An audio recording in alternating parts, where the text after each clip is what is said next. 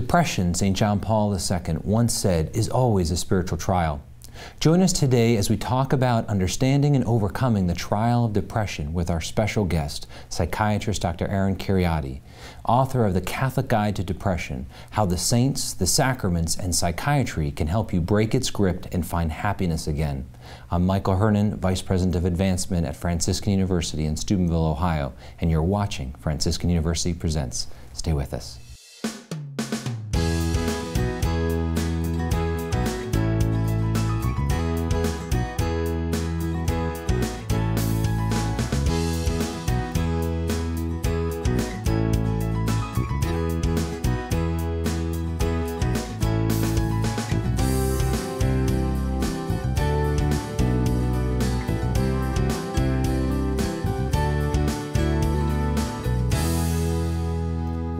Franciscan University Presents. Today we'll be talking about the topic of depression. I'm your host, Michael Hernon, Vice President of Advancement at Franciscan University in Steubenville, Ohio. I'm joined here in our studios with our regular panelists, Dr. Regis Martin, Professor of Systematic Theology here at Franciscan University, uh, Dr. Scott Hahn, who holds the chair in the Father Michael Scanlon Chair in Biblical Theology and the New Evangelization, and Dr. Aaron Kheriaty, uh, who is the uh, Associate Professor of Psychiatry and the Director of the Program in Medical Ethics at the University of uh, California, Irvine. Uh, you are uh, the Chairman of the Clinical Ethics Committee at the uh, University of California at Irvine Medical Center, and you're a graduate from both Notre Dame and got your medical degree at Georgetown. Uh, you and your wife have five children and live out in California. And today we're talking about the book that you wrote, uh, The Catholic Guide to Depression How the Saints, the Sacraments, and Psychiatry Can Help You Break Its Grip and Find Happiness Again. Yeah. So, welcome to the program. It's great Thank to have you. you. Michael. It's great to be here. Yeah. Well, if we could start off, our topic is depression, so maybe we could start there. what is depression? Well, depression is a disorder of mind and body that can profoundly impair a person's ability to function both mentally and physically. And a lot of folks who haven't experienced an episode of clinical depression assume, gee, you know, I, I know what that must be like. And I've hit rough, rough patches in life. I've had bad days or times where I've uh, been down in the dumps. But when psychiatrists talk about clinical depression, we're talking about something that is pretty qualitatively different from what most people have experienced in the in the usual ups and downs of life. It's not like just having the blues or just having a, a, bad day. That's right. It's it's also not just about our emotional state or our moods. Depression tends to disrupt, for example, a person's normal sleep-wake cycle. So they have severe sleep difficulties. It can change their appetite in ways that they can have profound weight loss, hmm. which can compromise them medically. It can lower their level of physical energy to the point where just getting out of bed in the morning is a major chore.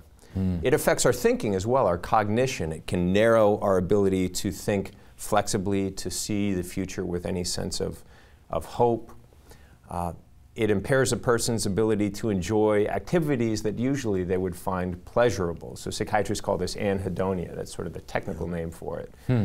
Uh, and depression often uh, leads a person who otherwise would never consider it to start thinking perhaps life is not worth living anymore, perhaps suicide might be an option for me. So we can see that depression is, is a state of really profound mental and physical suffering for an individual who's. Yeah, I, I, think that's the, the theme that needs to be underscored. Uh, I was hoping that it would come up even sooner. This one item in the inventory, and that's pain. Mm. Um, people who are depressed are in the grip of a profound and even unspeakable pain, yeah. excruciating sorrow. I mean, you, you give the example of that woman in her 70s who recovered from cancer. Right. And she said, The ordeal of cancer I would be willing to face again rather than a day of clinical depression. That's right. Interestingly enough, I was doing a radio show just a couple of weeks ago and the host uh, told me during the show that he had, at one point in his life, lost his leg, and after that underwent a, an episode of depression. And he said oh. the episode of depression caused him more pain and suffering than the physical ordeal of, of the loss of one of his limbs. So I wow. think these two stories really illustrate yeah. the the, the psychic, the psychological pain, and the intensity of that pain right, that a right. person with depression. And, and the fact that people who aren't depressed can't really appreciate right. the extent, the abyss of the pain that those who are afflicted must uh, endure. You know, that's why it's important for you to emphasize the fact that we're talking about clinical depression and not just sadness, not even deep sadness, because sure. it's different in kind, not just degree. It isn't just worse than what most people have, it's something different. And it's been in my family and in my life experience. I've known people who've gone through it. You know, and at one level, I suppose you'd think, well, you're a good Catholic. You know, you have prayer, you have recourse to the sacraments. You shouldn't be, you know, depressed and that sort of attitude. And it's common, but I think what we have to recognize is that, you know, sadness is not the same as clinical depression. But clinical depression is a near epidemic. I mean, it has really spread far and wide and deep for Americans and throughout the world, but I think also for Catholic Christians who are doubly shocked right, yeah. that they succumb to it or that yeah. they're prone to it. And I, and I think that's why your work has particular importance right now. Yeah. Well, thank yeah. you, Scott. You know, it, it, it's not just uh, religious people who sometimes labor under this misapprehension, as if to say, look, okay, you're depressed. For God's sake, start praying and you'll right. get over it. But secular uh, people, I, I, think, are under a similar uh, uh, misconception. They think, well, maybe you're not working hard enough. That's right. Uh, industry is the enemy of melancholy. So, for heaven's sake, get a job. Yeah. Stay Motivational busy. therapy. right, right. Yeah, yeah. And it doesn't work. That's right. Be- depression is a very complex illness. And what we often see in people trying to approach, how do I deal with this, is that they will look at it from only one perspective and they'll miss other aspects of the disorder. So they will prematurely or excessively spiritualize it. Right. If only yeah. I prayed more, read the Bible more, re- received the sacraments more frequently, I would somehow be inoculated from this mm-hmm. particular yeah. disorder or illness or form of suffering prayer and the sacraments in the spiritual life have an important role to play in helping a person recover from depression and perhaps reducing their risk of depression. But a faithful and dedicated spiritual life does not make a person immune right. from depression. Neither does um, hard work or right. physical activity. Right. All of these things have a role to play. They're a piece of the puzzle. But depression has causes on the biological level, including uh, genetic predisposition. Some people are just hardwired to respond to stress or certain life circumstances with a depressive reaction, whereas another person might have a different sort of response right. yeah. to the same circumstances. So we have to be able to attend to the medical and biological aspects of the illness as well. It's too simplistic, it's too reductionistic to say it's nothing but right. a chemical imbalance in the yeah, brain. Right. Certainly, there are changes in brain chemistry, and we know that medications and other things can help to right that imbalance. Right. I mean, but, it, it, but it, so can psychotherapy. It, it's horrible enough when somebody has depression, but when you visit upon them a kind of guilt, right. as if they're responsible for this, or even I mean, that's unbearable. Even sometimes themselves, you know, maybe. Right. You know, yes. What am part. I doing wrong? Right. People yeah. tend to suffer in silence, and yeah. the uh, you know, there's perhaps no mention of them in the prayers of the faithful at Mass because right. of the stigma of mental illness. Yeah, you know, someone gets right. cancer, they're flooded with sympathy, they're flooded right. with external shows of support. Right. If someone is suffering from cancer, they may be suffering every bit as much, perhaps even more. Yeah. Uh, or uh, suffering from depression, they may be suffering even more than the individual with another conventional medical illness and yet people don't know what to say to them. Right. Or they right. say the wrong thing. Well, they, they look perfectly a, normal. Yeah, right. Yeah. That's right. From the outside, it's hard to tell why you, this person can't get up in the morning. You said something that I think we all know deep down and, and resonate to, and that is, you know, the pain of the body is real, but the pain of the soul isn't less. Right. It's much greater. You know, I remember thinking back to, well, I think back to what St. Thomas More wrote about the sadness of Christ and this mm. sorrow. And, you know, the, the agony of Jesus on the cross. I mean, the, the physical pain is indescribable, and yet the sorrows in his heart are much, much deeper. You know, and, and that is a sinless redeemer. I think what we have to recognize is that, you know, the pain that people go through is something that is really not only unspeakable, but at times humanly unbearable.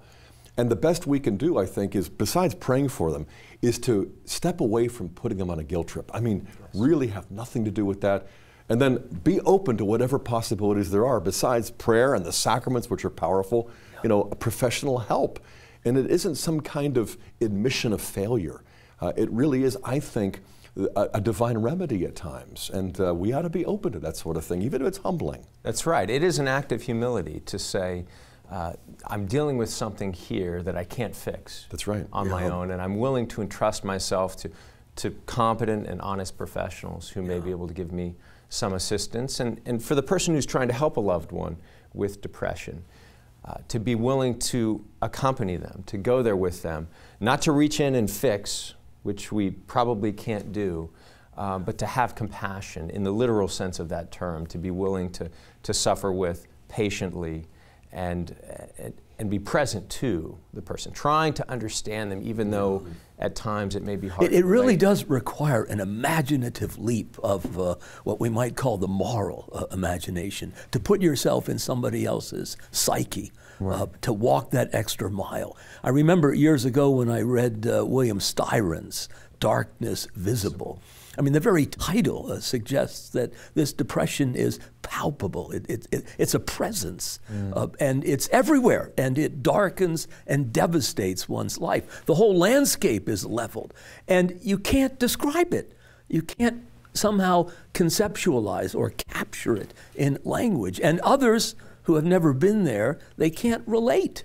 And of course, the, the title comes from Milton's description yeah. of, of of hell, right. the emergence from a yeah. from a hellish state. Yeah. And Styron complains at the beginning of that book about the word depression, yeah. that it doesn't do justice right. to the nature of this affliction. You know, depression is a sort of dip in the road or right. something like this. Right. Uh, he prefers, and I prefer the older term melancholia, which suggests a sort of black and oppressive right. mental state. Right. Yeah. Well, when we, we talked about this earlier a little bit, but uh, do you think it's it's more of a modern phenomenon because it appears as if there's right. more people suffering from depression today, or do we just simply recognize? You know, I would say yes and no. On the one hand, we have we have clinical depictions and descriptions of depression going all the way back to to Hippocrates in the fourth century BC, and even further in Egyptian medical literature that pretty accurately describe the, the clinical features of depression as we would recognize them today.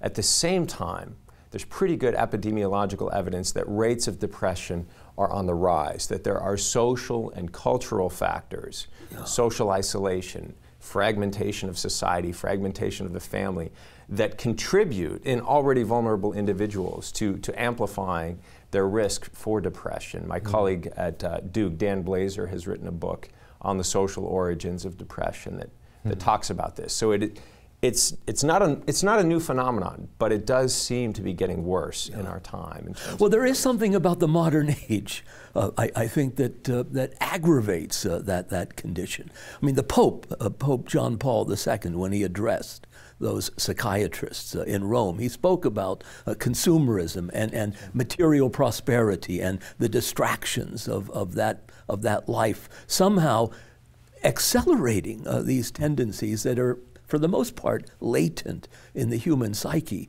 but they, they get exacerbated, inflamed by those very conditions that, that people so uncritically embrace. If I only have more, then I'm going to be more. No, no, you're not. Yeah, yeah. And so we have depression coming from within and from without. Is, is that, is that Yeah, a, I think that's a good way to put it. We have to recognize both the endogenous factors and the external factors, yeah. the social relation. Mean? I mean the, the stuff that we just simply come into the world with. Okay. You know, I I have a strong family history of depression, let's say, and therefore I'm in a sense primed. Okay. You know, to react to circumstances in a particular way. And initially, my first or second episode of depression might be tied up with the things going on in my life. You know, the, the loss of a loved one, or losing my job at work, or being under excessive stress, over time, depression tends to beget more depression. Yeah. An episode of depression seems to change the brain in ways that it makes us more prone to relapse and to have future right. episodes. Right. Mm-hmm. So that with time and with repeated episodes of depression, the, the illness itself can seem to become more disconnected from external events right. in my life and, and, kind of take yeah. on a life of its Which is why just getting another job after unemployment isn't necessarily the cure. exactly. You know, because right. even if there is a trigger cause that sends somebody into a bout of deep depression, it remains multi-causal. You know, and so the response, as you indicate, has to be at several different levels, both naturally as well as supernaturally. That's right. I, I like to say that we need to take a both and approach right. to the treatment uh, of depression. Because the causes come. Because the causes come from all these different directions. Yeah, it, it, it's really a great pity that there's not just one cause. I mean, if it were simply genetic, then you pop a pill. Right. You know, when you get a headache, you take aspirin. There must be some biochemical uh, medicine that you can imbibe, and bingo, it's gone. But it doesn't work like that. That's right. Medicines have their place, psychotherapy has its place, Yeah. but there are many other interventions. And I, I would argue you could say spiritual interventions or spiritual forms of help that are necessary for many people Yeah. in the recovery process. Well, I, I want to pick up on this point in the next epi- uh, next section here. Um, stay with us on Franciscan University Presents as we talk about depression, and now we'll go into the next seg- segment uh, about its connection to the spiritual life. Stay with us on Franciscan University Presents.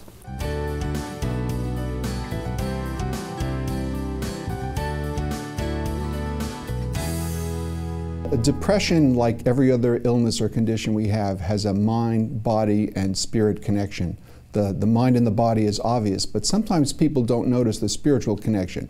By that I mean we try to avoid harm, we try to avoid hurtful things that are happening in our lives, and we're depressed, and so we turn to other behaviors. Very often, those are addictive behaviors. Alcohol comes to mind, drug addiction, gambling, sexual addiction. So when a person is hurting from depression, they will turn to those things rather than deal with the depression. So a true healing or a true recovery from the depression must take into account also those patterns of sin that they may have started to engage in. And, and that should be dealt with as well.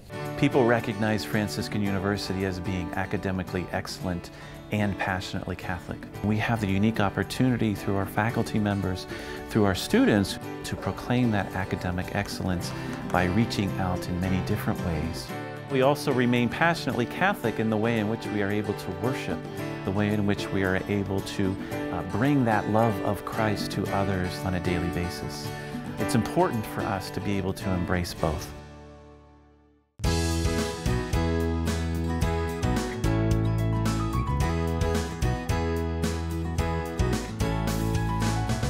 Welcome back to Franciscan University Presents. Uh, we've been talking with author, professor, and psychiatrist Dr. Aaron Kheriaty. Um, uh, Aaron, I, I, we've been talking about depression as a whole, and uh, I, I want to go in as a Catholic into the role that depression might play in, in, in sin and how sin and depression may have any connection, or is there none? Well, we know that all forms of suffering, disorder, illness, ultimately are traced back to original sin and the fall. Our, our broken and wounded human nature is now prone to illness, disease, disability, and ultimately death. But I think it's not necessarily accurate to say that any one individual's particular episode of depression or uh, their experience of depression can be traced back to that particular individual's personal sins, let's say. I think that's a mistake that a lot of folks make. You know, the Gospel of John recounts an episode where the disciples come up to Jesus and ask him, was it this man's sins or his parents' sins that caused him to be born blind? And our Lord says, you know, I, you're asking the wrong question. He reframes the whole thing for them. So I think we don't want to fall into that simplistic trap of blaming the victim Yes. for what it is that they're suffering from.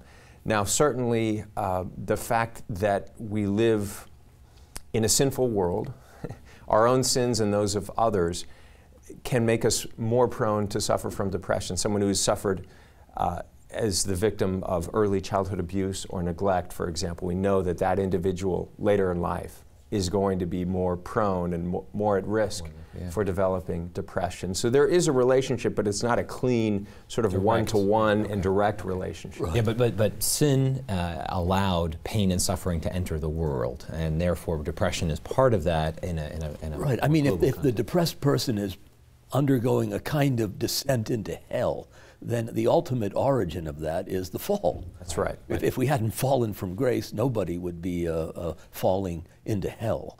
Uh, it, it, it, seems to me that that implicit stigmatizing of, of the victim is what accounts for the sort of shyness and hesitancy a lot of us feel in talking about the mentally ill. We don't want to embarrass them, mm. remind them of their sins. Mm. And of course, the victims uh, feel a kind of shame and they don't want to talk about it. So there's a double silence, which we need to break through. And it is extraordinary that Jesus does it in the New Testament, but mm. somehow the story didn't take. Yeah, yeah, yeah. That's right. We don't want to compound their suffering. I mean, a, a depressed person is already because of the depression, experiencing excessive rumination yeah. and a sort of uh, scrupulosity on overdrive, you know, beating yeah. themselves up over uh, perceived wrongs or perceived faults far in excess of any anything right. objective that they've yeah. done. So that morbid introspection can lead to an even deeper self paralysis, as it were.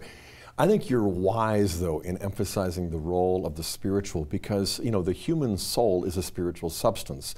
And so much of modern psychology that's supposed to study the psyche denies the psyche in as much yeah. as the psyche is the soul.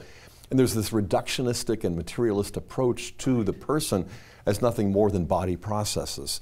And yet there's also a tendency among Catholics to kind of go to the opposite end and to spiritualize this sort of thing.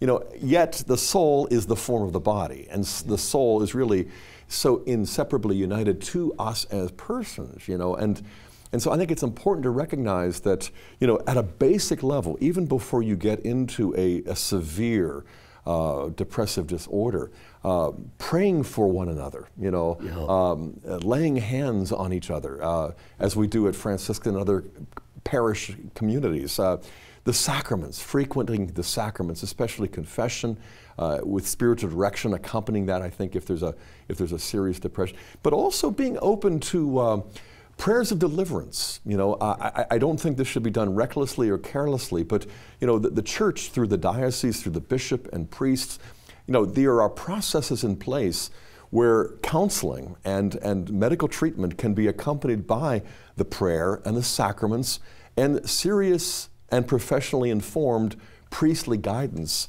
in these kinds of prayers yeah. of deliverance. And I, I think when we recognize how multi-causal it is, we should celebrate the fact that the church embraces, you know, a, a kind of multifaceted approach to uh, treatment. That's right, Scott. I, I agree completely.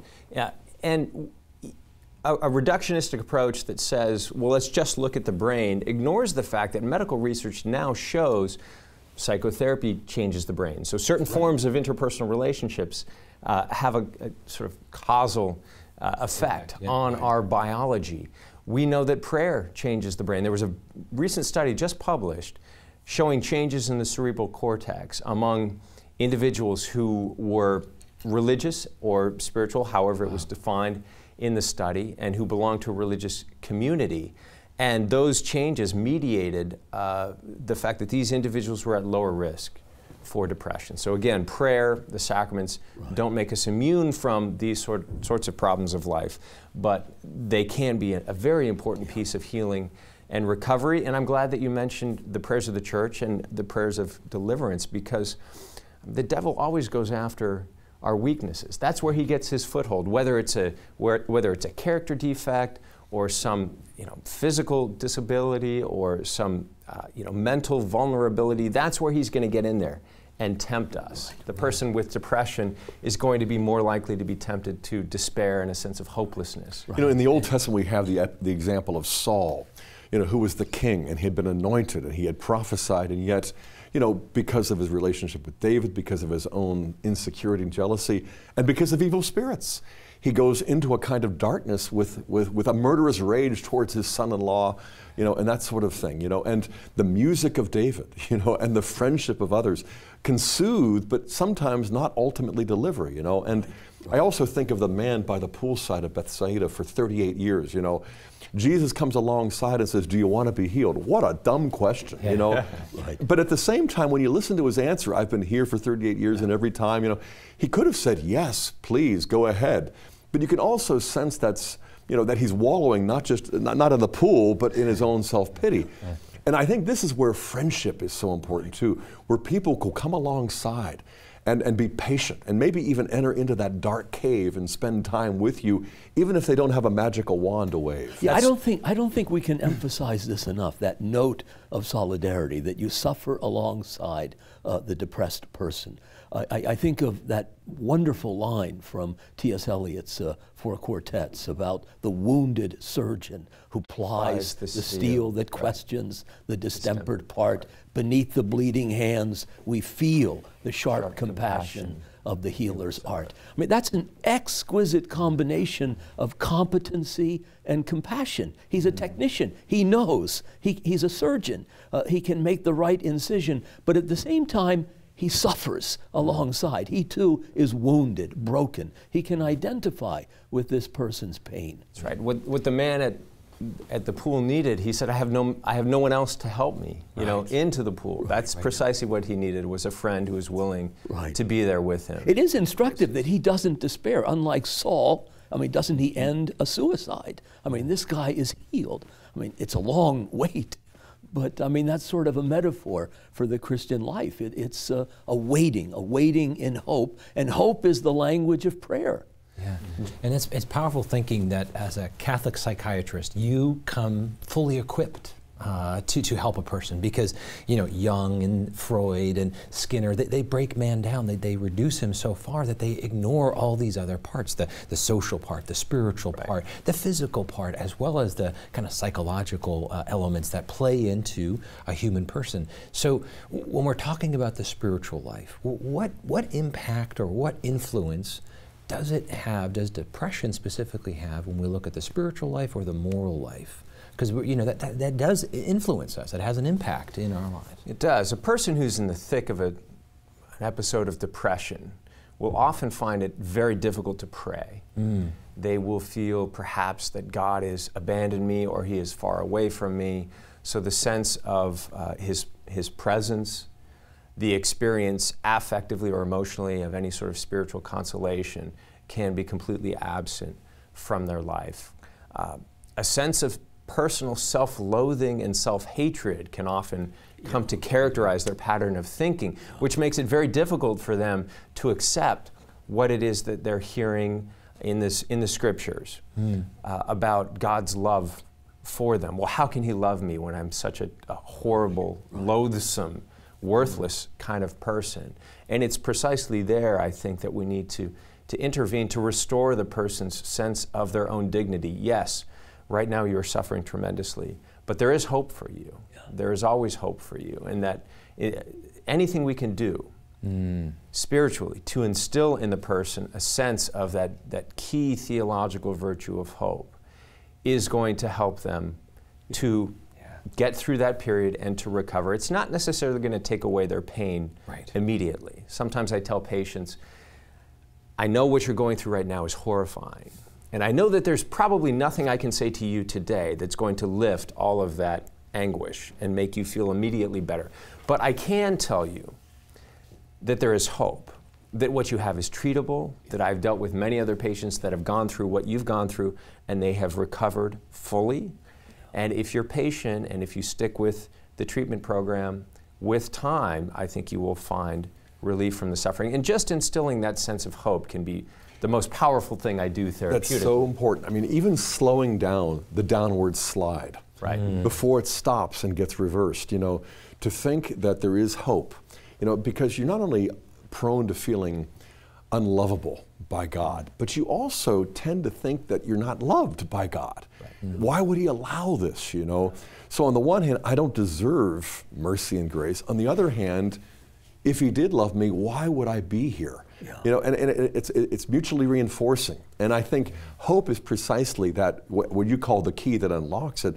But I think it's also the most, you know, it is the underrated of the three theological virtues. Yeah. You know? You know and, and oftentimes, and quite unwittingly, uh, the victim has entered into the sufferings of Christ. Yeah. I mean, his cry from the cross, my God, my God, why have you forsaken me? That experience of abandonment is, is replicated by the depressed person. Mm-hmm. He feels that dereliction. Mm-hmm. Well, you're part of Jesus at this moment, whose own cries are much wider and deeper than you know. He somehow includes you in his own definitive uh, sense of loss. Be, being wrapped in this, I mean, that just makes me think. You know, are, are there saints who have been depressed? Uh, is that as that you know? Can you look back and see? And if so, who? sure. Well, many scholars believe that Saint Teresa of Lisieux, during her teenage years, went mm. through periods of what today would probably be characterized as a a clinical depression.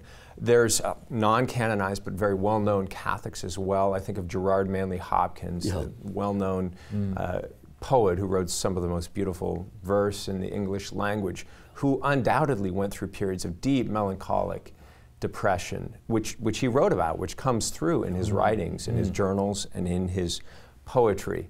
I think also, of course, he wasn't a Catholic, but uh, a great man of very noble character, Abraham Lincoln, mm-hmm. who I, I, think it's pretty clear and well established now uh, by biographers and scholars of his life that Lincoln suffered profound periods right, right. of dark, melancholic depression. Yeah. Win- Winston Churchill would oftentimes speak of the black dog mm-hmm. that would descend upon him. Well, it, it, didn't keep him from beating Hitler in, in right. the Great War, but nevertheless, he experienced this, this melancholia, uh, and it's crippling. Yeah. And, and, and Hopkins certainly uh, was able to take that experience and transmute it uh, into unforgettable, imperishable art. The terrible sonnets I mean, they record these dark nights, these descents into a kind of hellish blackness. And, and the sense that, you know, I'm sending these letters to God and they come back unopened. I mean, that's a terrible cry of anguish. Yeah, yeah, it's powerful. I, I, want us to pick up on this and look forward in the next segment to how can we overcome or how can we help others uh, looking at depression. Stay with us on Franciscan University Presents.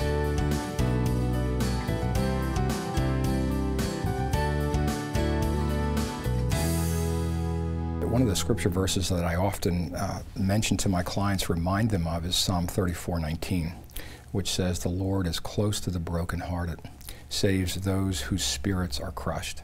And it's really good for, for folks who are depressed to hear that because, uh, again, they often feel far away from God. Uh, but in fact, this is actually telling us that, in fact, they're very close to God. And, uh, or perhaps more correctly, God is very close to them uh, and that God is watching over them. And uh, so it just gives them great comfort that they're not really losing their faith typically. Uh, in fact, they're probably growing in their faith, and the Lord is with them every step of the way through these very difficult times. Explore the treasures of your Catholic heritage on a Franciscan University pilgrimage. Led by inspiring spiritual directors, you'll walk in the footsteps of saints and martyrs in the Holy Land, Poland, France, and Italy and you'll deepen your love for Jesus Christ through daily Mass, confession, prayer, and the joy of Christian fellowship. Let Franciscan University lead you on a pilgrimage of faith. Find out more at franciscan.edu/pilgrimages.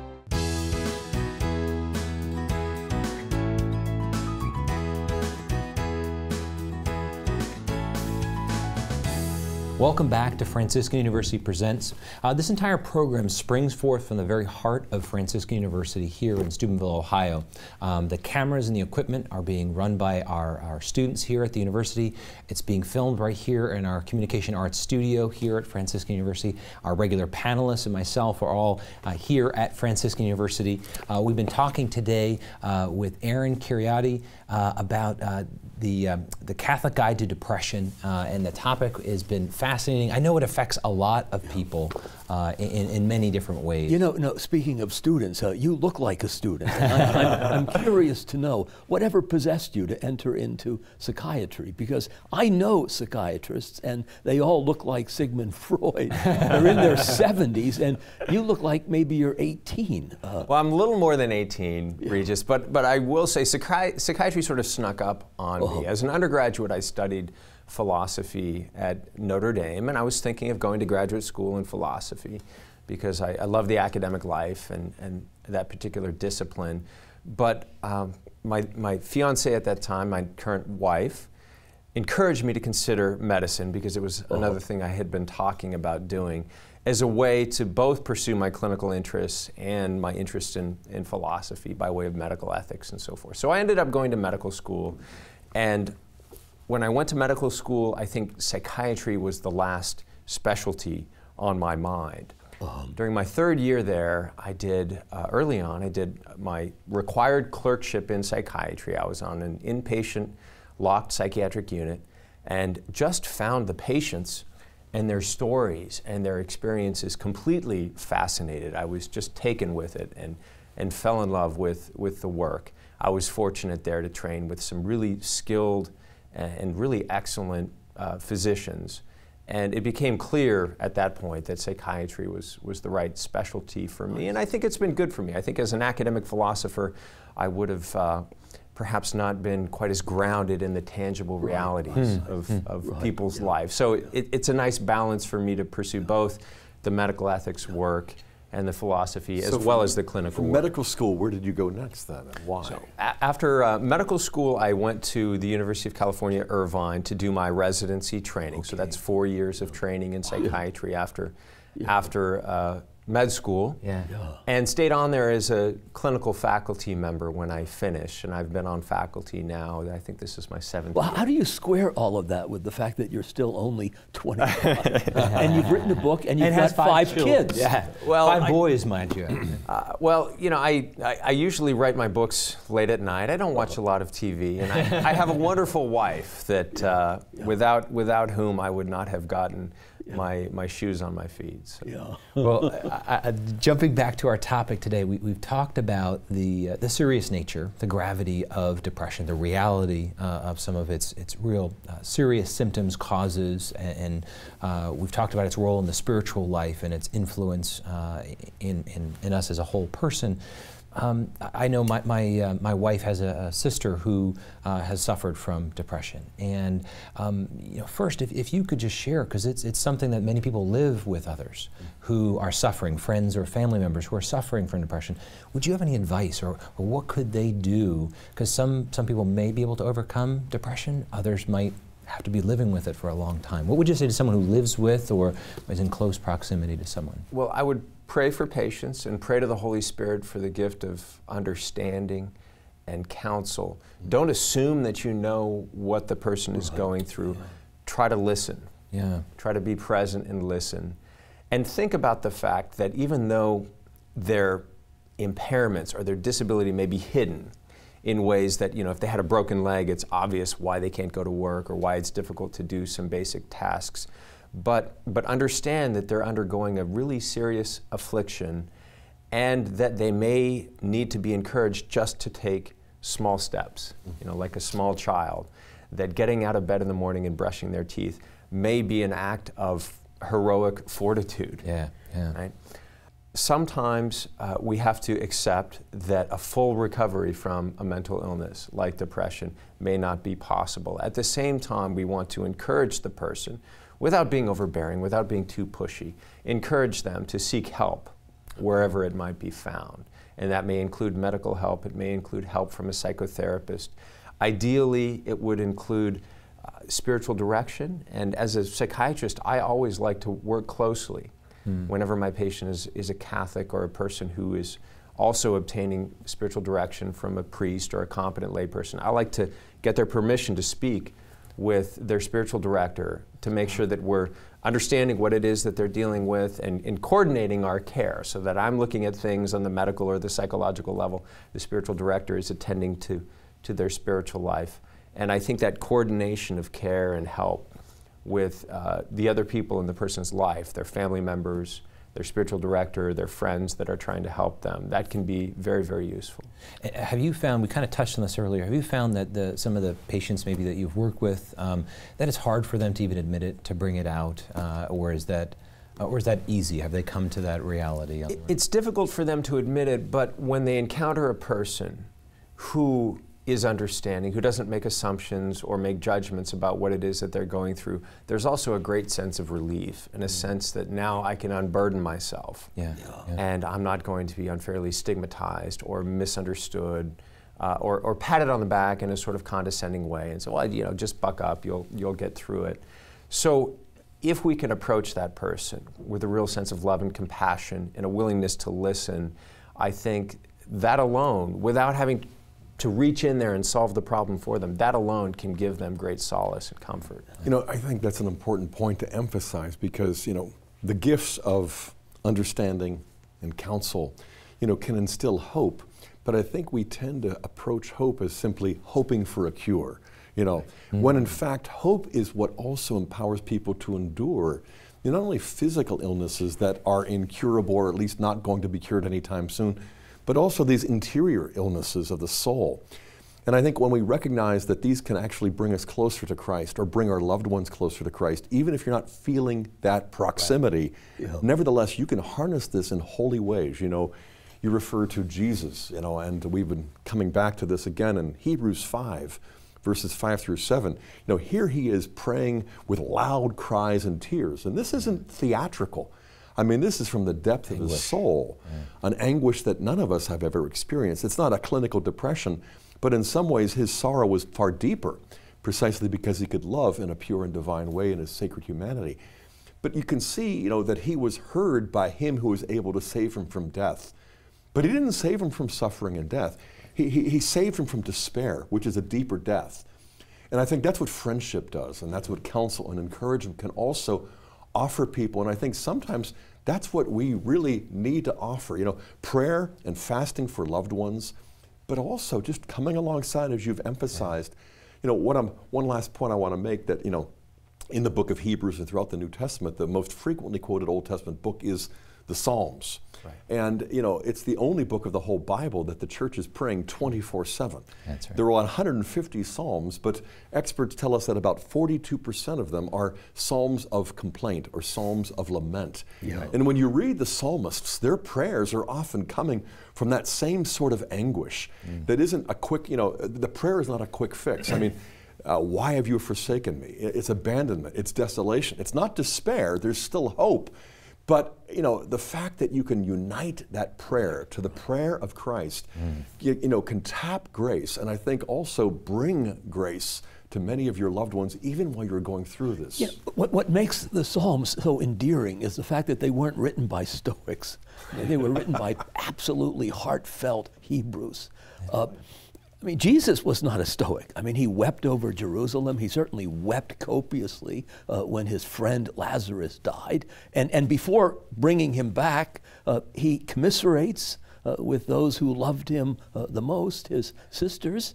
And, and that, I think, is a model of, of solidarity, of compassion, of just in a companionable way journeying along with the one who suffers and just being present to them yeah. without making judgments, without uh, patronizing in a sort of pompous way, saying, Oh, I know what you're suffering. Let me explain it to you. Right. Just are, being present. And, and, and being friends or being family members, are, are there warning signs? Because, I mean, there is a, there is a you know, potentiality with some people who are suffering from depression to consider that um, suicide or, or, or, that their life isn't worth living in that sense. Are there warning signs that people should even be attuned to or looking out for? Sure. Well, for some individuals, even, even faithful Catholics who would otherwise never consider suicide uh, for moral and spiritual reasons, when they're in the thick of the suffering of depression, this may look like the only escape hatch, the only way out of something that currently feels mm. intolerable. Um, there's a myth out there, for example, that young people, teenagers, they tend to joke about suicide, right? Well, no, that's not the case. If someone makes an off the cuff remark about maybe, you know, maybe I should just end everything, or maybe I just can't go on anymore, we should inquire about that. We should take that seriously. Yeah. We should not dismiss that as just sarcasm or, um, you know, exaggeration. When, when someone is at acute risk of suicide, sometimes we have to take um, measures to make sure that they are safe. Mm. Right? So, in extreme circumstances, if we believe that the person may be in danger of acting out on suicidal thoughts or suicidal impulses, even having them involuntarily hospitalized for a mm. brief period of time to get them through that period in an environment that is safe is, is going to be necessary and potentially life saving. Um, if someone is struggling with suicidal thoughts and we know that they're seeing a physician or a psychiatrist or a psychotherapist, uh, just calling that person and letting them know what we're observing, you know, what's going on. You know, the person is, is isolating, they seem to be, you know, um, giving away things that they own. They see they're doing things that are unusual for them, and I'm a little concerned. Giving that information to the person who's responsible for their clinical care can be helpful. Yeah, don't panic, but don't uh, trivialize this sort of thing. That's you know, right. Right, right. You know, without going into any details, I, we have six kids, and on my mother's side, I mean, my wife's side, you know, there is no dis- depression. In my side of the family, it goes back generations. Uh, over a half a century ago, I had a family member who went through 10 years of darkness before taking his own life. And, uh, and so I was aware of this, and my father was too, and he fought it and showed us, uh, even as a, a non religious person, what a heroic and difficult struggle it is. But I never imagined that it would be possible for, for teenage kids, young teens, to have an adult sized depression. Uh, and without naming names, you know, out of our six kids, a couple of times we've had to deal with that. And uh, boy, you know, on the one hand, my wife, who doesn't have any experience in her family, is just like, buck up, get over it, you know. On the other hand, I'm like, wait a second, listen carefully, you know. And it, it involved for me not only an educational experience, but you know, reading and studying, talking to experts, but mostly spending a lot of time in a cave that I didn't even know existed. Hmm. Hours, days, weeks, months. Thanks be to God. I mean, both of them are now in, in, in, a, in a way that you could almost describe as divinely delivered. They look back and they recognize what a, what a, a painfully difficult and a humanly impossible thing it was. But the prayer, the fasting, the sacraments, the friendship, the professional help, man, I tell you, you cannot underestimate the importance of this sort of thing. You know, and especially when you think there's no solution. Because while there might not be, sometimes and frequently enough, there is. And so that hope that you share through the endurance Right. as parents, as spouses, because this is not just with kids, but spouses too. You know, I can't emphasize enough the importance of your contribution in the book as well as the wisdom you're sharing today. Thank you, Scott. Yeah, yeah. So we've got some things that, that need to happen friendship, prayer, um, but really professional help. And, and in that professional help, is there a couple of quick things that you would mention as people go into that in, in, in the treatments? Well, some Catholics avoid seeking help because they insist on having a Catholic psychiatrist who shares their faith. Ideally, you could find someone like that. But uh, first of all, being a Catholic alone does not make one a competent psychiatrist. So, better to see a competent Jewish psychiatrist than an incompetent Catholic psychiatrist. Find someone who's respectful of your religious beliefs and convictions and who is good at what they do, and be willing to take that step to get help. Excellent, excellent. Uh, stay with us on Franciscan University Presents.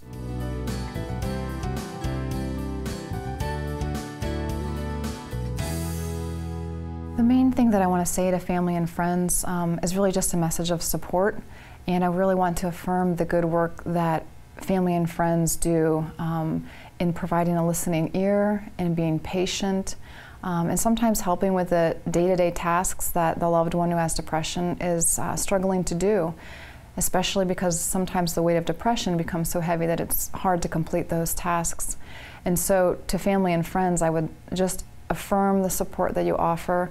It's a gift um, without measure, and it provides hope to um, your loved one who has depression when they may question their own value or they may question their own dignity because of um, the burden of their illness. So I say to you, continue your good work. My name is Joseph Frelich. I'm a chemistry major, biology minor here at Franciscan University. I love the atmosphere, just completely centered around the Catholic faith. When I play soccer, when I'm in classes, everything is, has that same Catholic attitude. Myself and a few other chemistry majors had the opportunity to work with top scientists in order to combat neglected diseases. I was able to connect my love for chemistry and also my love for mission work by synthesizing chemical compounds. Franciscan University is academically excellent and passionately Catholic.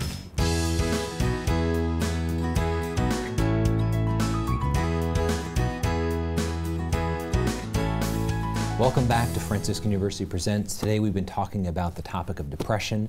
Uh, we've come to our final segment, so we'll have our, our kind of final points here. Regis, could you start us off? Yeah, uh, the, the commonplace uh, uh, observation uh, to talk about depression is depressing. But I think uh, we've given it a fairly lively and, and I hope uh, helpful expression.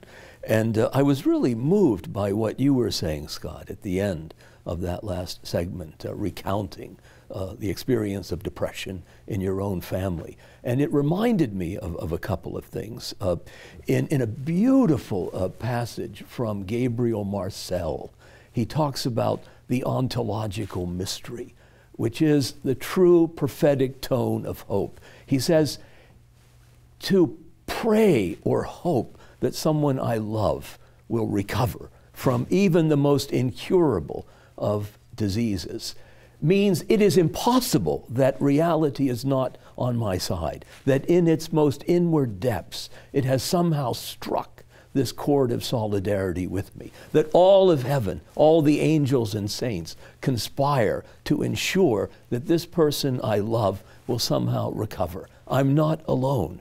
Mm. And then uh, the myth, uh, which I think, thanks to the coming of Christ, is actualized the myth of Orpheus and Eurydice. I, I think uh, really illustrates this. Uh, you know, he, he, nobody could sing as well as Orpheus, and on the day of his marriage with Eurydice, she dies. Uh, she's stung by a bee, and that's the end of the marriage. But he is inconsolable, and he, he insists on traveling into hell to rescue his bride. And he persuades Pluto, the god of the underworld, because he plays his flute so well that even Pluto, uh, his heart is melted. And he says, Okay, you can go down and fetch her, provided that when the two of you emerge into the daylight, you don't look back. Well, he does look back to make certain that Eurydice is not far behind. At that instant, she falls again into hell. And he spends the rest of his life missing her, lamenting this loss. And he's utterly inconsolable. That, it seems to me, is the true nature of hope that you're not resigned to see your loved ones lost forever, that you will endure that darkness, that you will somehow soldier on because you're not alone. I mean, Christ is with us, and that presence, I, I think, is the ultimate consolation. Thank you, Regis. Scott. Well, we've talked about the whole gambit, you know, in terms of the sacraments, in terms of spiritual direction, in terms of prayer and the priestly ministry of the church, as well as friendship and solidarity and encouragement, counsel, and understanding. You know, I, I can't help but also wonder if an ounce of prevention is worth a pound of cure in this sense. You know, one of my favorite writers is Conrad Baars and he talks about the importance of affirmation and this affirmation deprivation neurosis.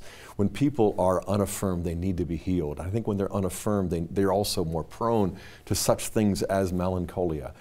Uh, I think as, as parents, but also in, in family relationships and in, in, in the church setting, uh, the need to find the good, not to pretend, not to make right. things up, you know, not, a, not to play hear no evil, see no evil, but you know, if there's anything good, if there's anything true, if there's anything excellent, worthy of praise, as Paul says in Philippians 4, think about these things and talk about them, and especially in families, you know, and especially workplaces. In a, and in the churches, you know, it's so easy just to focus on the negative you know, and if God did that, we would not last, you know. And if, if God can find the positive in us and enlarge that, then we can certainly participate with Him in doing that with our children, especially, and adult children as well, as we have nine grandchildren now and a whole network of friends that really form, uh, you know, a spiritual family. And I think the more I experience friendship from others who affirm what is good and who also give me fraternal correction, the more we really participate in the mission of Christ, the more we advance the new evangelization, but the more healing we can give to people even before the drastic measures become necessary. And I, and I think this dovetails nicely. I've already praised you and thank you for your work and for your book, and so I echo that again. But I also want to encourage our, our, our viewers just to really enter into the affirmation of the Word of God who loves us into wholeness and to share in that in just little ways every day. Mm. Oh, thank you, Scott. Doctor? Well, praise and affirmation is a spiritual good. We can never, as parents, give too much of it That's to right. our children. Accurate affirmation, of That's course. Right. Um, what I would like to say uh, to those who are suffering from depression is that there is always hope. That though you may emotionally or subjectively feel the absence of God, Christ our Lord has gone with you. My soul is sorrowful even unto death. So while Jesus may not have experienced depression in the clinical sense of the term, in the Garden of Gethsemane, he endured not only our physical suffering and anguish, but our mental anguish as well. So he is there very, very close to you, even if you can't sense it, even if you can't feel it. And that, that spiritual reality has to be the basis for our hope, our divine filiation, the knowledge that by virtue of our baptism, which can't be eradicated, I am a child of God. God is my loving Father who is very, very close to me and who wants me to be close to Him and may allow suffering for a period of time, but ultimately He wants my good. Uh, for family members or friends that are trying to help a loved one and sometimes feel inept or, or powerless, what can I do? Remember that little things can be important. I've read many accounts where someone said, just, you know, my wife taking off my shoes and rubbing my feet and giving me that, that tangible contact with reality. That was the beginning of my recovery.